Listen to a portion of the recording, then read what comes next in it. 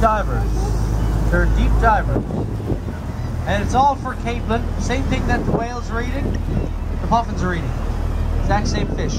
And when a puffin dives, he can catch 10 fish in one single dive. Because the whole beak is not just for show, it's actually, there's a, it's very functional as well. The roof of a puffin's mouth is covered in four rows of spikes. They look like the barbs of a fish hook. So when he catches a fish, he pins it against the roof of his mouth using his tongue. And that way he can open his beak and catch another one.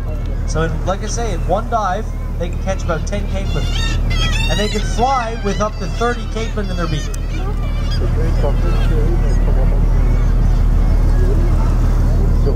And from here you can see the lovely colors of the puffin. Uh, that beak is only there for, for the summertime. They lose that in the winter.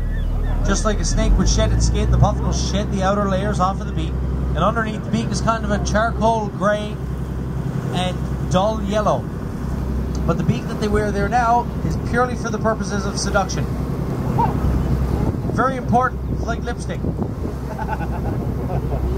Well, puffin's made for life, folks. It's a long life, too. You take mate when you're five and you keep that mate until you die, somewhere in the neighborhood of 20 to 25 years old.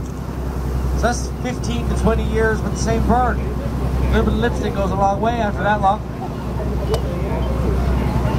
That'll look good. The other secret to success, if you're a puffin uh, and you're mating, Check that book. space.